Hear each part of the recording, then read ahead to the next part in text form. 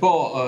deklarata e Putinit është në vazhdën e një sërë deklaratash që ka bërë edhe në të shkuarën, jo vetëm për vendosjen e forcave në kufirin me Finlandën si një nga vendet e reja anëtare të NATO-s, por edhe përdorimin e armëve bërthamore. Kjo është dhe në një farë mënyre edhe një kundërpërgjigje asaj që presidenti Macron para disa javë deklaroi që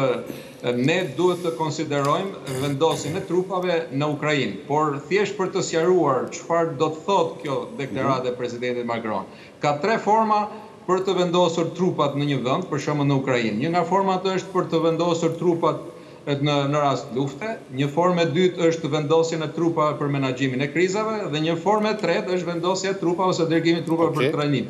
Dhe konkretisht duke u kthyer përsëri tek deklarata e presidentit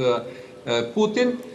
për momentin kjo është vetëm në suazën e një deklarate, pasi në kufirin me Finlandën, e cili është një kufi prej një mijë e treqind e dyzet kilometrash, pra e ka dyfishuar kufirin e NATO-s me Rusinë, që nga anëtarësimi i saj nga prilli i vitit të kaluar, ka pasur, para se të fillojë lufta, dy brigada të kompletuara mbi masën tetëdhjetë e pesë për qind.